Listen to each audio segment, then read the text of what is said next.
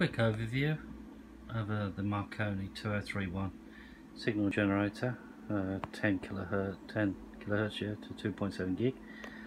Um, nice basic kit to be honest. Uh, picked up on eBay, relatively quite cheap. But power on. Um, it's a little bit out of calibration by about 20 years, but you know, well, you know, it's in the end of the world. I'll do a little bit of work on that.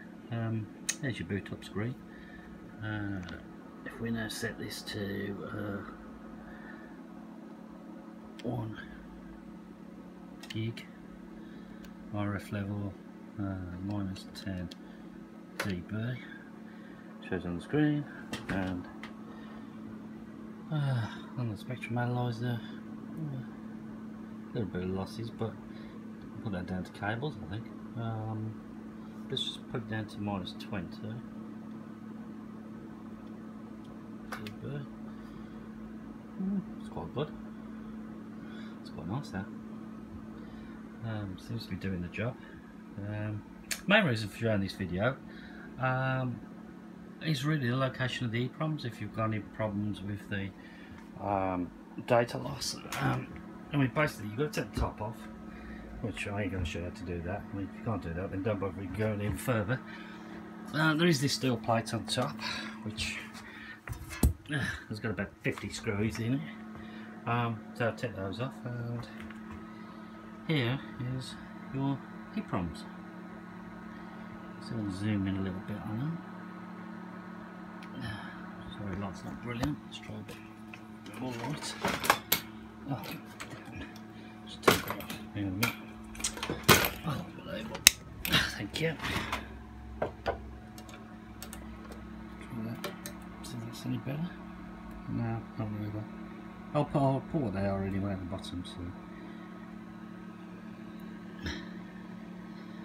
There you go. There's the location of them if you need to get to them. Uh, I have seen some reports of people losing the data on the uh, on their EEPROMs. Uh, overall, it's quite a nice layout the board. Uh, give it a quick check over.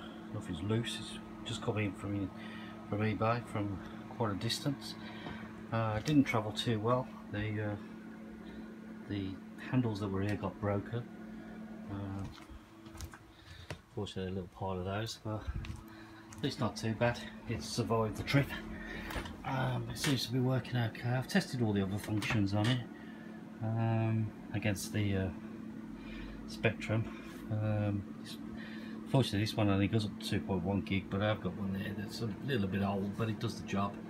Um, and I've took it up to the maximum, and it does seem to work okay, and down to the minimum.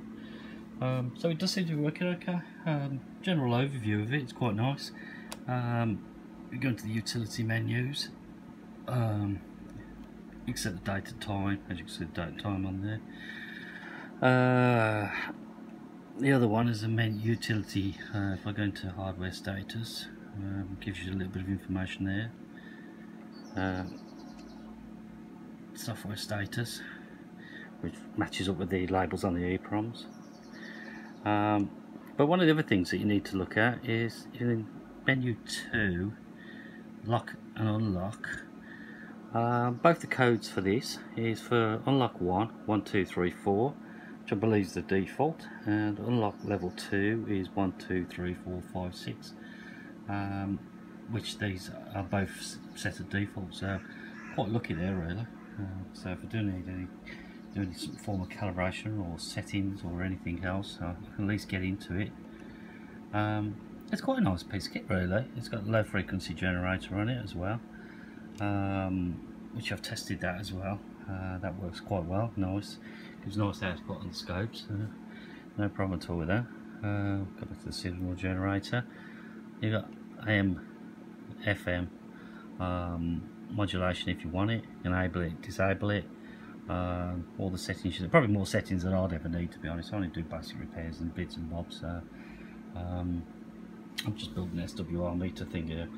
Um, so all this bit of equipment comes in quite useful for that, uh, for tuning magnetic loops. Um, well, I don't know what else about it. It's quite a nice piece of kit, really. Uh, I've got the Fluke down there, which probably be putting up for sale, um, and replace it with um, this Marconi.